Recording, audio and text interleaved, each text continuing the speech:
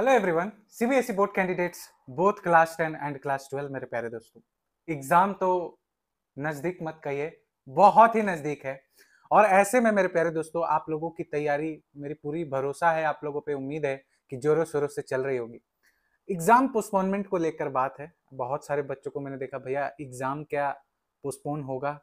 क्या हमारी date sheet जो है लेट आने वाली है एग्ज़ाम डिले होने वाला है?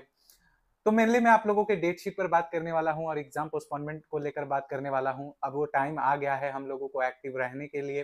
वो वक्त आ चुका है एक दूसरे का कोऑर्डिनेशन के लिए और आप लोगों को जोरों शोरों से मेहनत बहुत ज़्यादा करना पड़ेगा।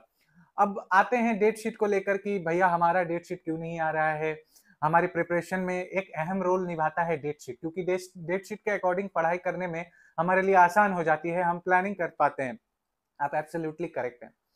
पिछले साल की बात करें तो डेट शीट आया था दिसंबर 29 तारीख को मतलब अगले महीने के 29 तारीख को उनका डेट शीट आया था। अब उसके आने के पीछे का रीजन अभी आपका प्रैक्टिकल एग्ज़ाम चल रहा है पोस्टपोनमेंट पर भी आने वाले हैं। अभी आपका जो है प्रैक्टिकल्स चल रहे हैं।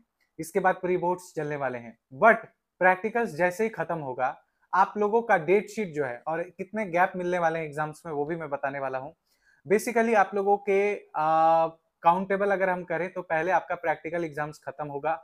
इन बिटवीन जब आप अपने प्री बोर्ड्स देंगे या दे रहे होंगे, तभी आपको डेट शीट मिलेगा। मतलब दिसंबर की एंड में ही आपको डेट शीट देखने को मिलेगा।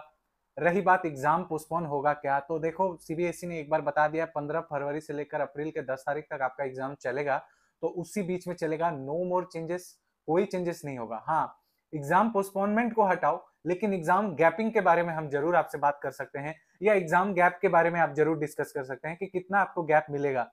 एग्ज़ाम डिले करके, पोस्टपोन करके, क्या फ़ायदा होगा आप बताओ। इसमें आपका नुकसान है। जितना लेट होगा, उतना मेंटली स्ट्रेस्ड हो जाओगे, टेंशन होगा, कब एग्ज़ाम खत्म होगा एंड ऑल तो पाँच दिन के एग्ज़ाम में आपको मैक्सिमम फाइव डेज़ का और एट डेज़ का आपको गैप मिलेगा ही मिलेगा, क्योंकि 56 डेज़ का एग्ज़ाम चलेगा।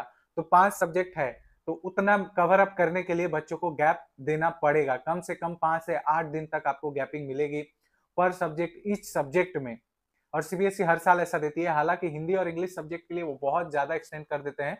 पर उनका मोटिव क्या होता है? मान लो, आपको मैथ्स के लिए सिर्फ़ चार और तीन दिन आपको मिलेगा और इंग्लिश के लिए आपको ग्यारह दिन मिलेगा। पर डेट शीट भी देखना उसी सीक्वेंस में रखा जाता है। मान लो आज इंग्लिश है ना?